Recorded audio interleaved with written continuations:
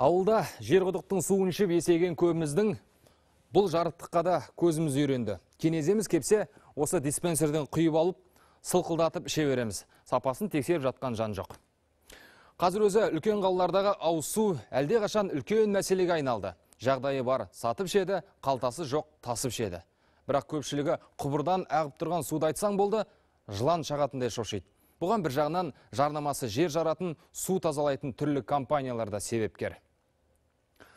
Қалалықтарға бұл компаниялар баяғыдан белгіленді. Бір танысыңыз құбырына сүзгі қойса, сіздің де құлақтан маза кетеді. Су сүзгіштер күніне қайта-қайта телефон шалып есіңізді шығарады. Үйіңіздегі судың сапасын тексертуді өтінеді. Келеді, тексереді, түңілтіп кетеді. Ішіп отырған суыңыз у дейді. Амал жоқ өзің үшін емес, бала шағаң үшін 200 мың теңгенің еріксіз фильтрін қоясыз.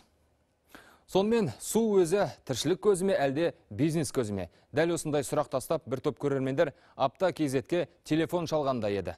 Біз зерттедік. Тілшіміз Айнұр Омарға дәмі әртүрлі судың дәмін татып көруге тура келді. Сізбен біз күнделікті пайдаланып жүрген ауыз су бастауын осы жерден алады. Дәл қазір Астана су қоймасында 350 миллион текше метр су жиналған. Бұл бастауын кәдімгі Есіл өзенінен алып жатыр. Әрине бір қарағанда қара, лай сияқты көрінеді. Бірақ сіздің құбырға жеткенше бұл бірнеше рет тазалаудан өтеді. Ағын судың арамы жоқ дейді. Түсі мөлдір, дәмін көрейік. Дәмі де жақсы. Астанаға биыл су көп жиналыпты 350 миллион текше метр. Қалалықтар жылына 80-90 миллион текше метр су пайдаланады. Жұрт бұл жерді Вячеслав су қоймасы атап кеткен. Қойма стратегиялық нысан. Күні түні күзетіледі. Қоймадан шыққан су канал арқылы 51 шақырым ағып қала ішіндегі мына жабық мекемеге келеді. Астаналық айралуан қазақтың кең жерінің әр түкпірінен жиналған. Туған өлкенің суына ештеңе жетпейді. Сондықтан біріне иісі, біріне түсі ұнамай жатады. Біз хлорсыз халыққа су бере алмаймыз. Өйткені жаңа айтып отырмын ғой ең бірінші талап микробиологиялық талап болу керек. Басқа біздің мына суымызда ауыр металдар мінекей оның барлығы жоқ. Осы бір жылдың көлемінде біз жаңағы хлорды гипохлорид натрийға ауыстырамыз. Гипохлорид натриймен судың өзін мысалы хлордың иісі болмайды. Сол кезде мен ойлаймын халық басқаша су ішеді. Астана бас қала болғаннан кейін ауыз су мемлекеттік және халықаралық стандартқа сай судан сағат сайын сынама да алынады. Бірнеше рет сүзгіден өткен соң таза су қала құбырларына кетеді. Ары әркім өз қалауын жасайды. Бірі үйренген осы суды құбырдан іше. Бірі бөтелкедегі тазартылған су ішеді. Жағдайы жеткендер үйіне сүзгі орнатады. Тағы бірі күнде ішетін суын күнде сатып алады. Мәселе осы жерден басталады. Бөтелкедегі су. Астанада елуге жоқ су тазартып сататын жекеменшік нысан болған. Бірақ қазір оның жартысы ғана қалыпты. Өйткені кеден одағы талабы бойынша олардың суы жарамсыз. Олай дейтініміз, бұл компаниялардың көбі суды кәдімгі құбырдан құйып береді. Алдын ала бірнеше рет сүзгіден өткіземіз дейді. Бірақ сену қиын. Біз хабарласқан бірдекілі компания түсіруге келіспеді. Үш айлық конференция өткізіп жатырмыз деді. Енді бірі басшыларының шетелде екенін айтты. Әрі ол жерлерді санэпид қадағалау прокуратураның рұқсатынсыз тексере алмайды. бөтелкемен әкелген суды ол тазаланды ма бөтелке оның іші таза ма обработка жасалынды ма жасалынбады ма ол біріншіден білу керек. Кальций керек денеге сүйекке магний жүрекке керек сондай селен көзге керек мінекей сондай небір әрбір химиялық элементтің өзінің адам организмі үшін пайдасы бар ол болу керек ал енді жаңағыдай фильтрден өткізген кезде кейбір фильтрлер сол бүкіл макро микроэлементтердің бәрін жоқ қылып жібереді ал ол өлі су өлі судан организмге ештеңе бармайды Жарнамасы жер жаратын кейбір компания жабылып та тыныпты себебі 2015 жылдан бастап тек жер асты суын шығаратындар ғана нарықта қалмақ. Жаңа талапқа сай келетін су бар екен Астанада. Мына шағын цех нарыққа енді еніп келеді.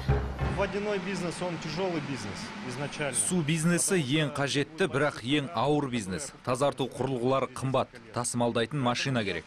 Сондықтан ұсақ фирмалар жабылып қалады. Тұрақты жұмыс істейтін 7-8 компания ғана бар. Енді олардың саны тіпті азаяды. Кранның суын құйып беретіндер 2015 жылдан бастап жұмысын тоқтатады. Өйткені ондай судың денсаулыққа еш пайдасы жоқ. Әрі су шығаратын жерлер қаладан көлік түтіннен алыста болу керек. Кеңселердің көбі осы бөтелке суына тәуелді. Бағасы да арзан емес. Біреуі 500-600 теңге көлемінде. Мұны қымбат санағандар үйіндегі құбырға фильтр орнатады. Нұрболат Құсайынов осыдан 6 жыл бұрын үйіндегі суға сүзгі қойдырған. Содан бері құбыр суын пайдаланбайды. Бала шаға да осыған үйреніп қалды дейді. алдымен әкелгеннен өздерінің жарнамаларын жасады бұрын өзіміздің жаңағы краннан ішіп жүрген суымыз болатын соны алып бір стақанға құйды да екінші жаңағы осы робоклейнен алып бір стақанға құйды екеуін сосын жаңағы ішіне өздерінің бір несі бар? Аппараттары. Бар иә соны екі стақанға да салды аппаратты. Сол кезде біздің жаңағы осындай жай неден краннан ішіп жүрген суымыз жаңағы ә, не болып қалды әлгі? Шалшық су болып кетеді ғой. Шалшық көлдер болады ғой. Сондай сияқты жап жасыл болып сүзгілердің бағасы 70 мың теңгеден басталып 300-400 мыңға дейін жетеді. Оны қойдырғаннан кейін үш айда бір қажетті бөлшегін алмастырып тұру керек. Қазір қала бойынша 20-ға жуық сүзгі қоятын компания жұмыс істейді. Түсірілімге келісім берген су фильтрін орнатушы компания қазақстан нарығында 10 жылдан бері жұмыс істейді. Жандос бізге де демонстрация жасады. Өзінің қолындағы сары құрылғы судың жалпы көрсеткішін анықтайды. Алпысқа дейін болса сапалы 120-ға дейін аздап қауіпті ал 240-тан асса апат. Құбыр суы 250-ге жетті. Ауыз судың сұмдығы мұнымен бітпеді. Суға тағы бір аппаратын қойғанда балдыры мен батпағы араласып шыға келді.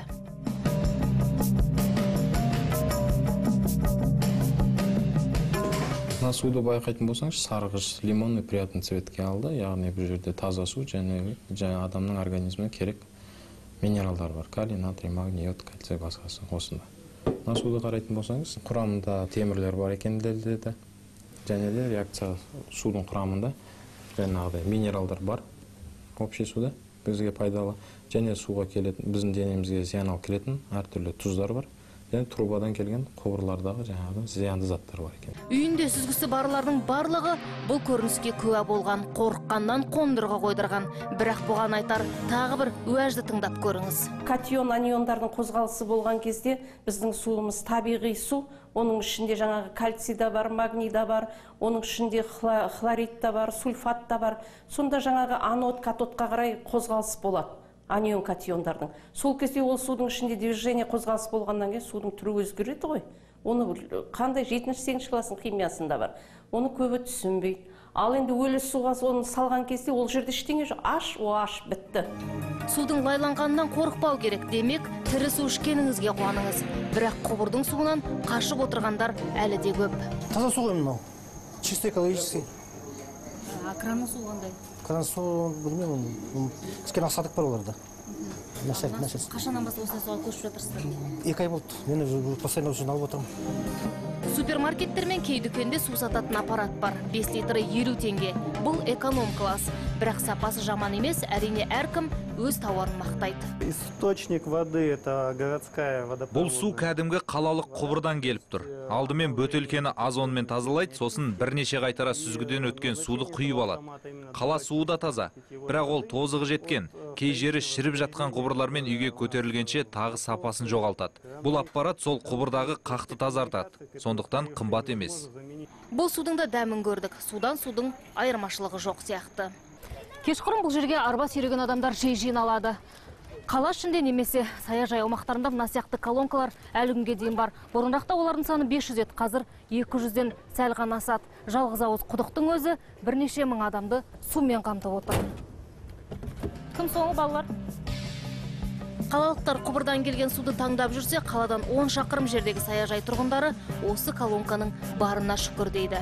Колонканы сәл поселкқа жақындату керек дачаға. Дачаның бір шетінде тұр. Көлігі барлар көлікпен келеді көлігі жоқтар мына сияқты майда балдармен екі баклашка бір баклашкамен келіп алып кетеді. Бұл қараусыз қалған құбыр емес астана су арнасының иелігінде. Сапасын сол мекеме тексеріп отыр. Аяқ жеткен жерді түсірдік бұйырған судың дәмін таттық. Түйгеніміз құбыр суы біз ойлағандай қорқынышты емес. Бірақ сұраныс болса ұсыныстың түр түрі дайын. Әзірге мегаполистерде ауыз су тіршіліктен бұрын табысты бизнес көзіне айналып барады. Айнұр омар аптай